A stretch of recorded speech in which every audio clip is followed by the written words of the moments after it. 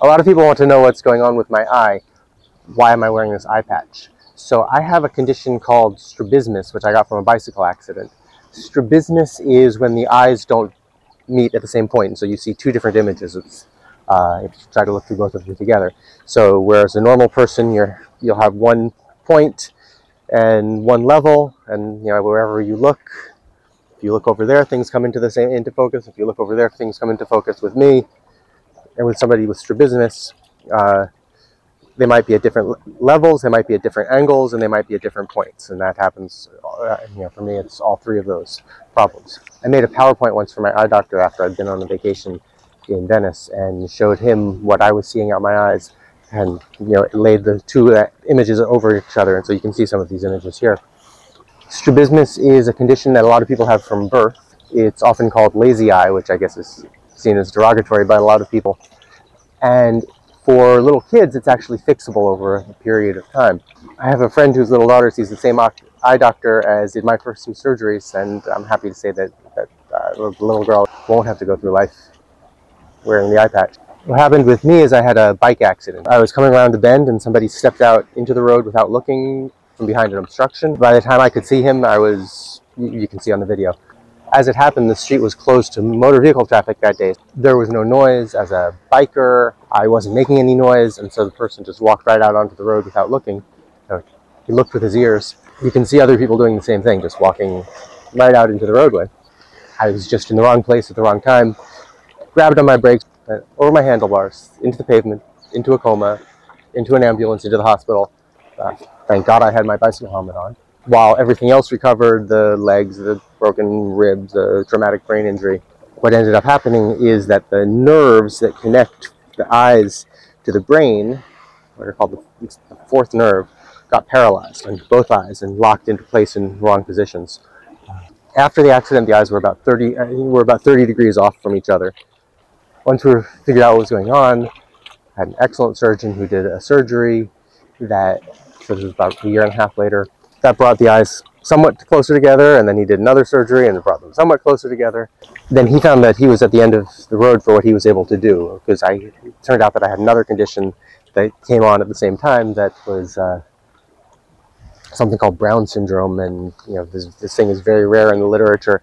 He brought my case to an international conference and people tried to think about it what, what could be done. They've ended up sending me to another surgeon in geneva who did another surgery which brought things somewhat closer together.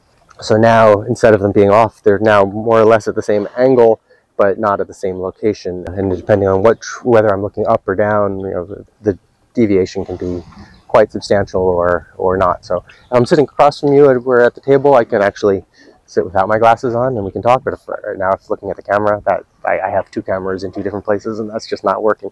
So I have to go back to the, the patch. So we're hoping to do a fourth surgery and it's not at all clear that the fourth surgery will actually solve the problem, but as the doctor says, it can't make things worse. So, uh, you know, I either can use one eye now and one eye later, or I can use one eye now and two eyes later, so let's, let's hope for the surgery. I went into prep for the surgery in March, and my eyes had deviated too much. Uh, so we put off the surgery until my eyes are stable. It seems like maybe they're stable now. Maybe we can do the surgery this summer, see what happens, but there are certainly no guarantees, and at this point, no, no schedule. For some reason, we, often when people ask about my eyes, there's a sort of, is, are you okay talking about your eyes? And, and, of course, there's nothing shameful about the condition. I guess there's this one guy, this uh, Trump MAGA Republican, who shot himself in the eye, and he has an eye patch, uh, an oath keeper who's now on his way to jail. But that's not what caused my accident. I tried to generate a picture with AI using Adobe Firefly and asked it for a person with strabismus and it refused. It said this was a, a banned word. Uh, and then I tried the same thing with DALL-E, and it just gave these weird pictures of people doing weird things in front of their eyes. So obviously, somehow, somewhere, this is seen as a shameful condition. So basically, I can use the right eye, or I can use the left eye, but I can't use them both together uh, most of the time. And if the doctor holds the, one of these little cards where you see the little image jumping out from a, in a 3D way. Yeah, that doesn't happen for me. What does this mean in my ability to navigate around the world? Not having three dimensions doesn't stop me from functioning, but it does stop certain functions. if I want to shake hands, I just have to put my hand out and wait for somebody else to kind of awkwardly make their way over to my hand. If you want to hand me a glass of wine, I do this. You know, I can't grasp the glass of wine. I can do this, and then you can put the glass in, and I can grasp it. Otherwise, it's going to go boink on the floor. I used to be an avid frisbee player, and now you know, I couldn't catch a frisbee. I have no idea where, where, where it is in space. I used to play catch with my daughter. Now we can't, unless you know she, she, can throw me things, and if they land, you know, if she throws them and they come right here, I'll get them. But uh, if it's going over, it's going off to the side, yeah, I just I just can't grab something out of space like that. You might have seen the movie The Whole Nine Yards, where the Bruce Willis character throws a beer and it just goes right over the shoulder of the Matt Perry character. That's sort of what it's like when things come at me. I just wouldn't be able to grab it. That and the combination with the Brown syndrome, I can only see things in a certain box. So if something falls down below my line of sight, it's gone. If I'm walking along, there might be a leaf. There's a leaf. There's a leaf. There's no leaf. Uh, if I'm cooking, I stir something. I put the spoon down next to the pot. Come back a couple of minutes later, need to stir it again. The spoon is gone. It's just if it's down there, and I don't swivel my head down, it's gone. I even lost the bell on my bike. Last week I was out on my bike for the first time since last fall, and I was on a path, and there was a kid coming up. I wanted to go ding ding to warn him away, but I was looking straight ahead, so anything that's down there was gone. And I didn't see the bike, the bell, so I uh, didn't use it, and I went along. Like, I could have sworn I had a bell on this bike. Uh, did I take it off for fixing it or cleaning it or something? I was really confused. I knew I had a bell on my bike but there was no bell on my bike. Uh, and then later on, towards the end of the ride, instead of looking down like that, well, I can't say I actually looked down like that, and you know there was the bell right where the bell was supposed to be. But, but with this condition, there was no bell. For the first many months, maybe a year, I was wearing the eye patch like this. But this gets really old, and it's also difficult if you have glasses. Uh, so you have to kind of do something like that. So I went online and found that you could get these black patches to go on the glasses. So I just had the black patch. And then I could real realize that I could get patches that I could sew on top of the black patches and make it a little more interesting. So this is my first patch, like that. But this is really a little too freaky for people walking around. So I've done a lot of other patches a friend sent me this great four-leaf clover, which I enjoy, but uh, I can't wear usually on a video because if I have if I have the green screen behind me when I'm filming, this is what you'll I'll, I'll show you what you what you'll see. You can see why I don't use the green eye patch when I'm filming with a green screen.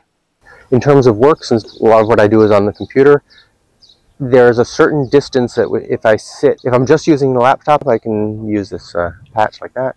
If I'm using the larger screen, two screens, then I can do certain things at certain angles. Usually I have to have one eye covered.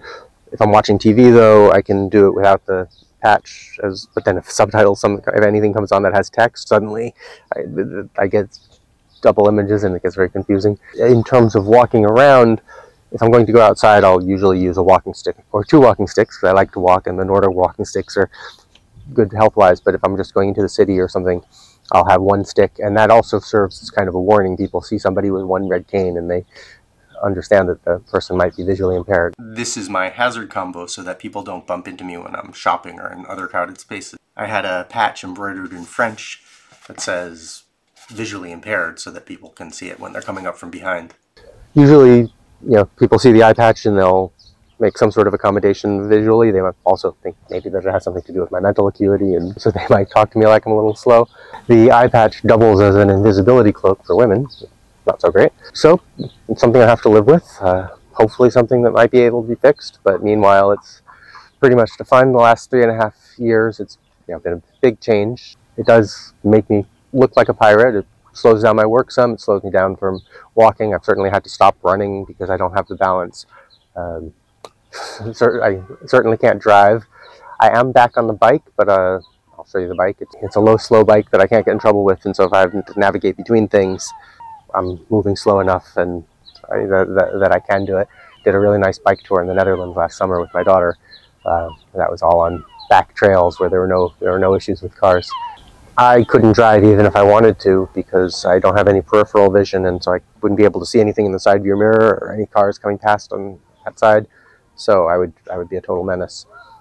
When I do travel, you know, I absolutely have to have the stick so that I can figure out where there's a curb. And climbing in the mountains is a challenge, but I kind of take it as a challenge. I like to go climbing in the mountains, but really not having the three dimensions is a you know, if I'm going to pour something, I really have to kind of make put the put the one thing on top of the other and pour very gently, or uh, I'm going, or things will miss. Lots of things have ended up broken on the floor because I knock into them because I don't see them outside below my line of sight, or because I try to pick them up and and I miss them. You know, but I certainly wouldn't choose this. I'm happy that my daughter still has a father. I'm happy that I didn't have worse injuries, but it's a condition that I have and have to live with. So you'll see me continue to make videos wearing this patch until maybe hopefully it goes away. But otherwise, you'll I'll just keep on making the videos and using the patch. So if you've been wondering, that's the story, and uh, enough said on that.